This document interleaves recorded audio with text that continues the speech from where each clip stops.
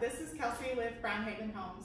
I'm here to answer one of your frequently asked questions, which is what should you expect at your initial meeting with one of your new home specialists at the local office.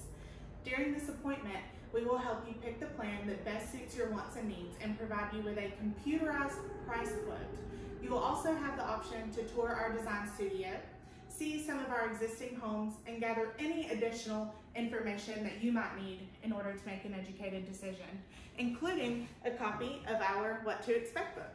Believe it or not, over half of our clients enter into a purchase agreement after our meeting. Ready to make an appointment? Call us today.